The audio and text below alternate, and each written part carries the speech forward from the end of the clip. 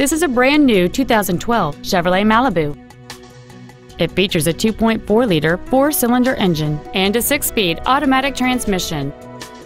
Features include a low-tire pressure indicator, traction control and stability control systems, cruise control, variable valve timing, an engine immobilizer theft deterrent system, a passenger side vanity mirror, OnStar, an anti-lock braking system, a keyless entry system, and satellite radio.